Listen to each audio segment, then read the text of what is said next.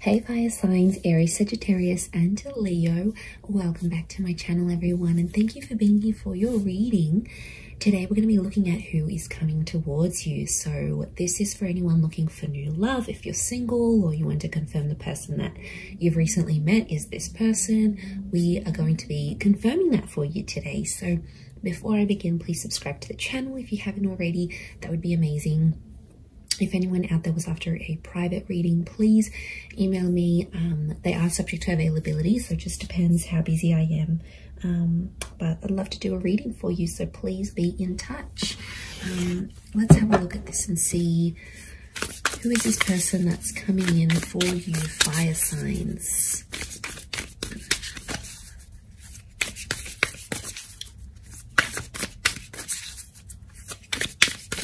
Aries, Sag, Leo.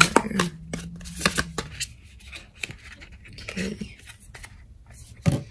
Okay, we've got strength.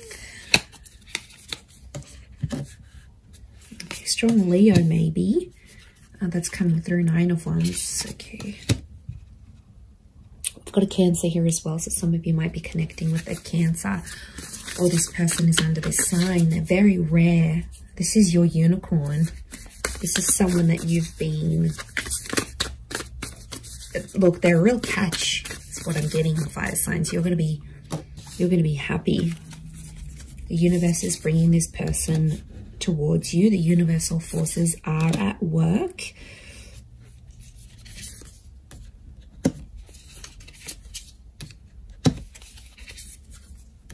Okay, Queen of Wands again. I'm getting a Leo. You've got the Queen of Wands and the Strength card. So I feel like uh, I feel like it could be a Leo. Let's move this. That's better. I feel like it could be a Leo who's coming up. Okay, definitely someone who I see taking the initiative to pursue you.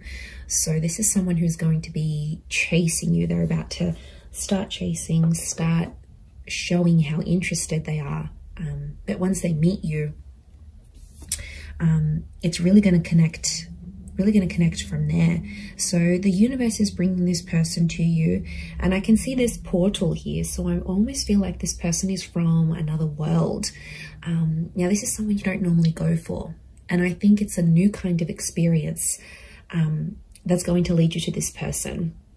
So it's stepping out of your comfort zone. So it could be like uh, going to a jazz bar uh, or it could be like taking a spin class. It could be like going to the library, doing something you don't normally do that's outside of your usual routine because they belong to another world. Their interests are very different to yours.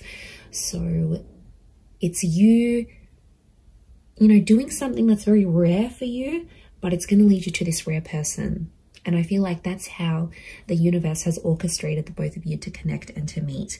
But they are a very magic, they, they're bringing a very magical energy. So I feel like this person is very mesmerizing. They're very inspirational. Anyone they meet, people are just in awe of this person. I don't know if it's their looks, it's their energy. They have something about them. And this is what's going to draw you in.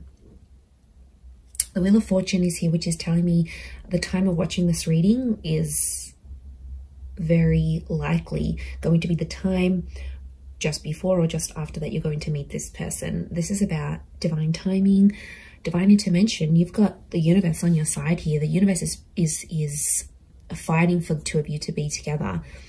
The Two of Swords tells me there might be someone else in your life when this person pops up. So I wouldn't be surprised if some of you are in a relationship around the time uh, when this person comes in. You know, you have that Four of Cups. Um, so I feel like once you meet this person, you're going to have a huge epiphany about them. Now, the Four of Wands is here. It's telling me this person may be married, okay? There could be some, some kind of uncertainty here with the Two of Swords and the Four of Wands. It's the marriage card. It's the relationship card. Or it could be like this person is just coming off a marriage, like um, a broken engagement or they're still legally married but they're separated with their person. Marriage is around them or it's very important to them. And it's something that they're going to express to you fairly soon. Um, fairly soon after you meet, I feel. Uh, and I feel like they're coming from a history of being betrayed. So their last relationship, I feel like they were hurt quite badly. You know, we've got the Ten of Swords here. It might have been an air sign that has hurt them. Um, and it's like they'll have the strength again to get back out there, get into the dating scene. Or it's like if they're coming off that, they're going to meet you and suddenly they're going to find the strength to be like, I want love again. I'm ready for this. You're going to make them ready for these things is what I'm seeing. So, okay, I feel like emotionally this person could be very kind and very caring. I feel like they'll want to look after you. They're going to be super attractive. Um, I feel like they've got all these like beautiful contours of very smooth mountains. There's something very soft and like almost like very smooth complexion, a soft spoken voice. It's almost like angelic. Um, they could have long hair, uh, very light hair is what I'm getting. Um, there might be some instances where if it's a, for example, the male here is dark haired, dark hair and it's shorter. The females are blonde hair and longer. You know, you've got that dark female here. So long cascading locks. Um, but a very feminine quality is what I'm seeing to this person. Uh, they're big on going to the gym or working out. I feel like appearance is quite important to this person. And I get inspirational, so I wouldn't be surprised if they're in a role where they sort of motivate others. So, like if they're a trainer, if they're a motivational speaker, if they are a manager, there's they're good at inspiring people, and they could do that professionally or creatively. And like I said, it's just a joy to be around this person. Um, yeah, you're really going to be inspired by them. That's nice. That's nice to see. Uh, they may have a pet. We've got a little kitty cat here, so they may have um, they may have a pet here. We've got a dog down here as well. So um, they're an animal lover. You know, you've got the horses. They might have grown up with horses. Maybe they like horse riding. Um, but if they own an animal, it shows a very nurturing. It's reflective of that. Like they have a very nurturing, kind side to them. So, you know, I wouldn't be surprised if this person wants kids as well. Um, if they'll want kids fairly soon after you meet, even. Absolutely.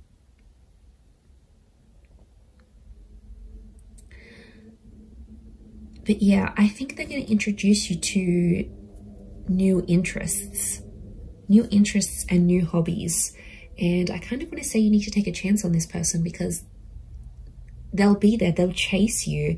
And I kind of see you turning this person down because they might not have the look you want or the interests that you want or they don't do things a certain type of way that you like. But to be honest, I think it's more to do with you needing to take a chance. And I feel like that's why the universe is giving you this connection and is giving you this person. There's huge marriage potential. We've got the engagement card, the marriage card. This is the card of like the relationship with the Four of Wands. So this is someone who will want to be quite uh, exclusive fairly soon. I don't feel like this person wants to wait. I don't, I don't think they're, you know, I, I do feel like they've got fire energy. I wouldn't be surprised if they're a balance of fire and water, but I, I don't think they want to wait. They have that impatient streak that you have, fire signs, okay? And this is where you're going to connect. This is where you're going to gel. You'll want things at the same time. So I feel like, you know, when you see something you like, you go after it, fire signs, but this is what this person is doing for you. I think you're going to enjoy the attention and, you know, why not?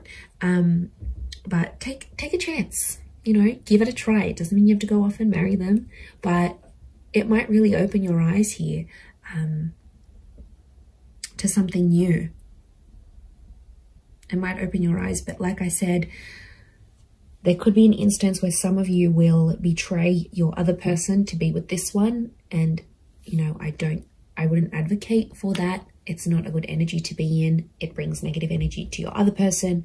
And it's not a good foundation. It's not a solid foundation, a trustworthy foundation to start this new connection. So, I mean, of course, it's easier said than done, but I would encourage you to either halt that other connection, go on a break so you can explore this or break it off. You know, at the end of the day, it's your choice, but I feel like I wouldn't advise you start off this on a betrayal-like energy because that Ten of Swords the Two of Swords, you know, that's there's an opportunity for betrayal here.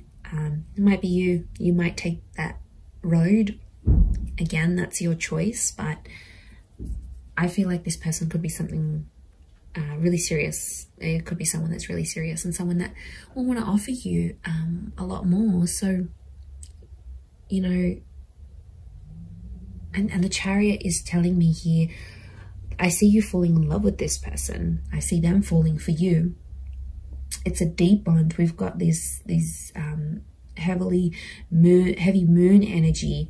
Um, we've got the pyramid. So I feel like a, a, solid foundation is very important here. So I feel like the beginning stages of this connection will mean a lot to how the future goes between the both of you. Um,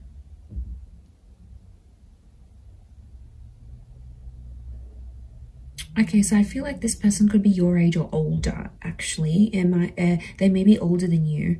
Um, could be by maybe four, four months, uh, four years, 14 months. I don't think they'll be,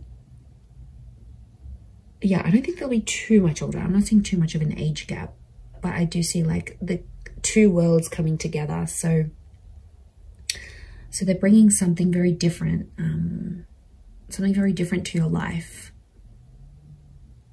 I feel like this person is also very lucky. They've got lucky stars. They've got luck next to them.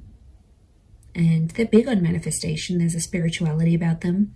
Um, so they could be really into like things like the law of attraction and visualization. And um, they sort of know all the all this like inspirational um, kind of things. Like they're into that. That's what they enjoy. Um, and you're, they're going to introduce you to that. I almost feel like you could have a completely different life with this person, one that you had sort of never really envisioned for yourself. So, I mean, that's kind of exciting for you fire signs to know that so much could happen um, uh, between you and them. Um, but the Knight of Swords is telling me at times they rush things. They, they may have an anxious attachment to you. So they might sort of uh, want things sooner than you even. Or there might be times where they sort of like um, put a bit of pressure on things here because the Knight of Swords, you know, they jump to conclusions at times. So it could be that this person jumps to conclusions. You know, they could be quite... Um, reactive rather than responsive. So I think, you know, you might see some anxious tendencies. They might rush to have certain um, conversations with you. Uh, they might want to rush sort of the process. I don't particularly see this person taking things super slow. Um, I actually see them, yeah, moving, moving faster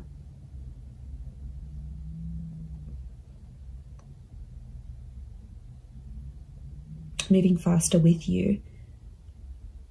And, and things could move pretty quickly. I'm not going to lie. Like things, the relationship could really, um,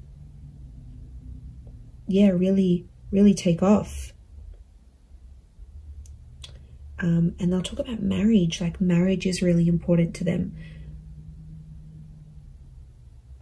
Getting married, being married. I wouldn't be surprised if they have been married before. Um, could also work with married couples. You know, they might be in a position where they work with couples counseling or they know a lot of married couples or like all their friends are coupled up. So maybe that's kind of influencing them as well to sort of go out and find someone. Um, but yeah, I feel like a different world, something that's outside of what you're used to doing is going to be the thing that leads you to them. And for some of you, I feel like you might be meeting at a gym um, it could be like physical activity that connects you. So you might be hiking, you might attend a group event, um, a community event, a sporting event, and um, or signing up to a place of uh, meditation or um, a, a fitness place or a spa even, and that's where you connect with this person. But it's almost like it has to be something very different to what you're used to doing.